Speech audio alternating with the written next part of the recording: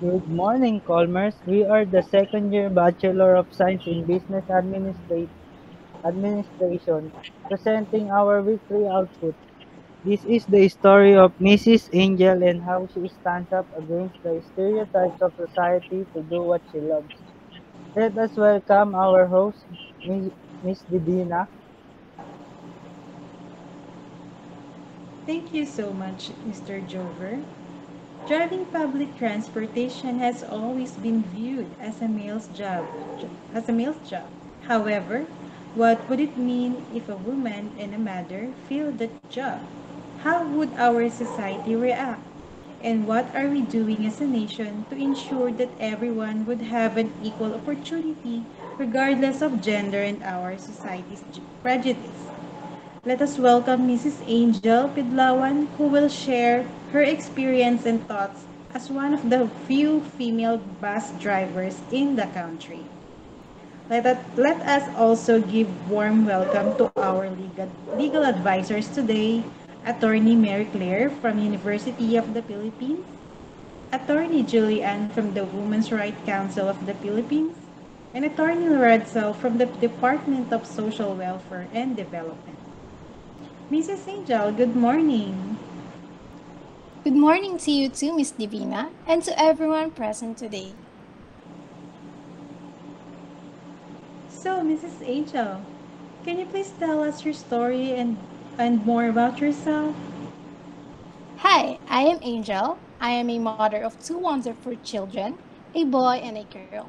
My husband works as an office employee and we live in Las Piñas City. As I grew up, my father exposed me to driving. At a very young age, I learned how to drive a four wheel vehicle. Ever since then, even though I already got married and had children, I still desired to become a driver one day. Wow, that was such a nice story. But was it hard? You know, having a work in a male dominated job? Yes, it was definitely hard, and even now, people are still not accepting of having a woman as a bus driver, especially as a commercial bus driver. I would sometimes hear people speak behind my back saying that, oh, I am afraid that we would get into accidents because you know, she is a girl. Woman should just stay at home and take care of her children and husband, and so on and so forth. That is very that is not very nice, you know. Yes, I know it is not, but we can just laugh it off and continuously prove them wrong. Yeah, I get you. And one more question, Mrs. Angel. Can you share with us some instances where you you felt that you are not treated unfairly in the job? Oh, yes. For a starter, it was no secret that I love driving. My family knows it very well. My husband is actually planning to buy our own car, but because his life not that generous, we are not able to afford it. So when my son saw the municipality notice for female bus drivers, I quickly talked to my husband. At first, he was reluctant, but he knew that it had always been my passion and eventually agreed.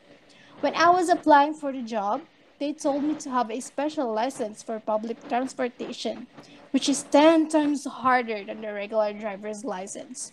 When I was hired, some of my male colleagues spoke behind my back saying that I would cause an accident and that I would eventually quit, but of course, I proved them wrong. Later on, they were convinced that I am a good driver. Wow, you really did a good job. It was so brave of you to continue what you love, Mrs. Angel. If I were on your shoes, I would probably do the same. All right, for a moment, let me call for our, for our legal advisors. First off, Miss Mary Claire, a lawyer from University of the Philippines, specialized in women's right to question about this work issue regarding gender discrimination. Good morning, Attorney Claire.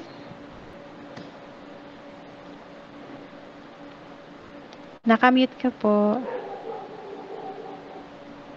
Good morning to you too, Ms. Divina. In our 1987 Constitution, Article 2, Section 40, it is stated that the state recognizes the role of woman in nation building and shall ensure the fundamental equality before the law of women and men. Supporting women by providing safe and helpful working conditions, taking into account their maternal functions, and such facilities and opportunities that will enhance their welfare and enable them to realize their full potential in the service of the nation. Women want equal opportunities, support, and mentorship. Women want the same thing as men do equal opportunities at work and support and mentorship for career progression. They want the ability to work on assignments that fuel their passion and allow them to make difference while connecting to their, to their work-life balance. Regarding to Miss Angel's situation or a state institution, we are trying equal rights for men and women. This means that every law that is being created must be gender neutral. In this type of situation, it is wrong to impose a special license to a person just because she is a woman to get a job.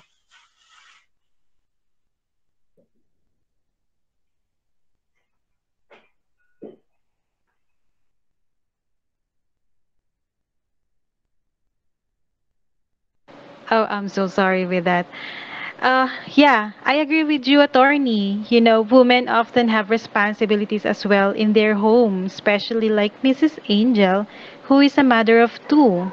And speaking of being a mother, Mrs. Angel, how is it like to be a wife and a mother and a boss lady? As I said, being a bus driver is not easy. I have to work long hours six times a week. And as a mother, I also have to look after my children and husband. It is physically draining and mentally exhausting. But because I love driving, I consider driving as the rest time of my day. Unlike men who rest when they get home, I am expected to head straight to the kitchen, make dinner, and attend to the kids. That is exhausting. I seriously admire your dedication. Would you agree with me, attorney Julian? Yes, I definitely, ag- I definitely agree with you, especially that she had to face some discriminating remarks and treatment at work. I seriously admire her work ethics and dedication to her jobs and responsibilities. That is why it is very important to implement gender equality so that everyone will have an equal chance to do the things that they are passionate about. In the 1987 Constitution of the Republic of the Philippines, Article 13, Section 14, it states that the state shall protect working women by providing safe and healthful working conditions, taking into account their maternal functions and such facilities and opportunities that will enhance their welfare and enable them to realize their full potential in the service of the nation. So, as the section 14 stated, uh, let's focus on maternal functions. This bill addresses the need of women for sufficient medical screening during their pre-maternity period.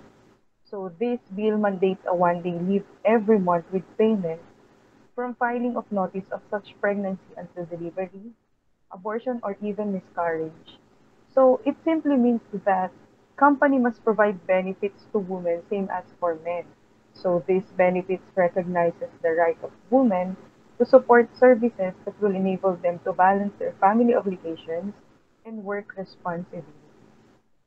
Uh, for further insight and to give us more explanation, let us welcome uh, Sir Retzel from the SWD. Hi, attorney. How are you? Thank you, Attorney Julian. I'm good.